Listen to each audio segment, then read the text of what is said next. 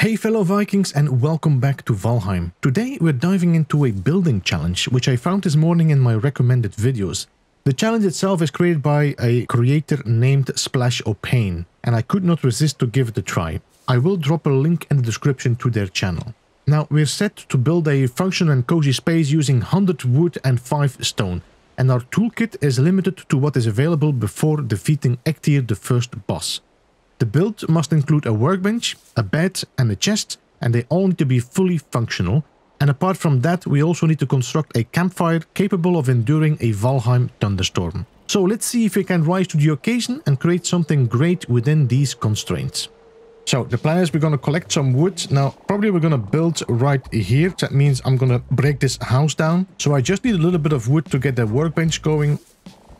As you can see, I am not attacked and it's because I turned off the enemies. I just wanted to build today. I didn't want to bother about being attacked while I was building.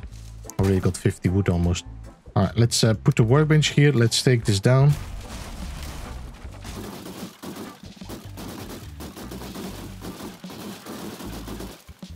Alright, so I got some uh, wood and stone in this chest here, so I need 100 wood and 5 stone. That is what we are allowed to build with.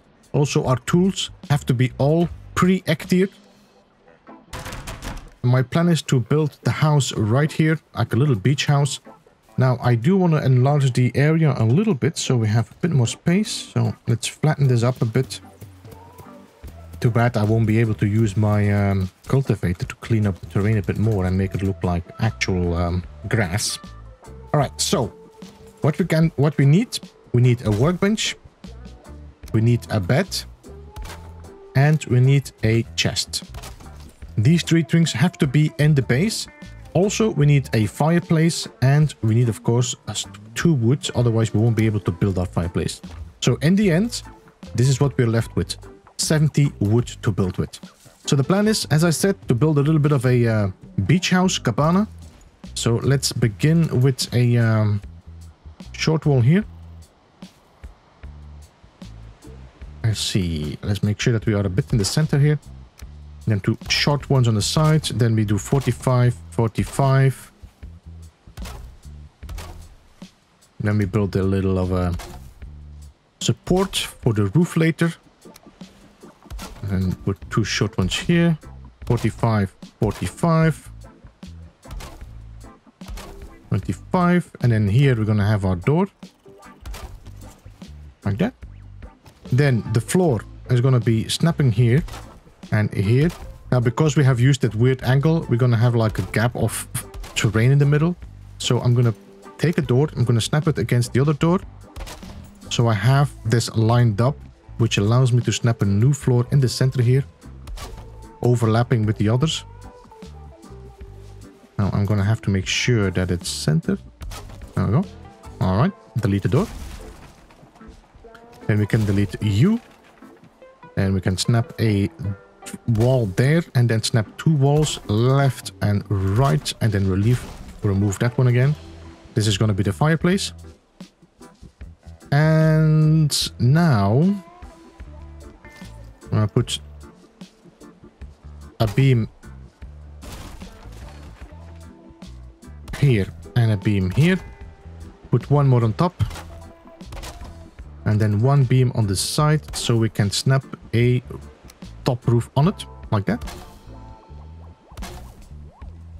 Should be three in total. And then on that we're gonna snap our 45 degree angled wood roof.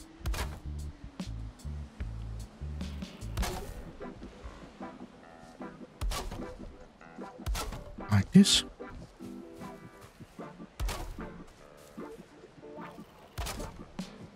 then we can break that beam. Uh, we're going to leave these for the moment until I'm sure I don't need more.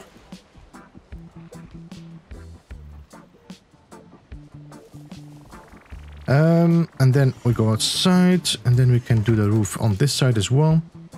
Now we can put the angled roof here so we have like a different look on that side. There's some wood on my roof I see, so I'm gonna have to go and pick that up.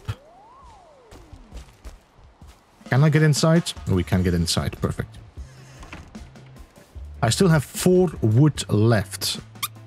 So the focus is gonna have to be on our little um, support here. That means I'm gonna have to break these away and put these here instead. That way they are supporting my roof and they're also gonna allow me to snap my... Actually, I think I need to keep this here. I still have four wood. Does that make sense? I think so. One beam in here. Two more wood left. That means we can put the roof in there now. Like that. And then we can take the beam away again like this. And then finally, close at the front. So now we have the fireplace like that. And that's our little cabana. Very chill, a lot of open view so we can actually see outside and have the fresh breeze coming inside. So the next thing we need to do now is just build everything 11. I'm somehow confused with the stuff I'm picking up, but okay. And then we're gonna build our bed on that side. Making sure that's a little bit inside so we have the cover.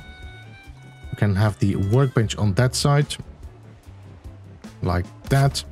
And then we're going to build our chests right here. Like that. And then we have one more wood and a one fireplace left. There we go. Let's see if this smokes up the house, but it shouldn't. I have one wood left. There's not a lot of things I can build with that, but okay. Oh, that only takes one wood. Ah. So this seems to be holding out pretty well. I'm not getting any smoke in the house, really. Although it does go around the roof, it doesn't seem to be collecting here. I'm not getting any, uh, like, choking. Alright, let's see if it uh, tests the time of storm. And there we have it. Our base withstands even the worst of storms. Now it's your turn. Why not try and take on this challenge yourself? Get creative, see what you can come up with, and if you feel like it, you can share it in our Discord. If you enjoyed this video and who knows, perhaps helpful, please give it a thumbs up. Your support is greatly appreciated and it helps more people find the content. Thank you so much for watching, have a great day, Beeblebum out.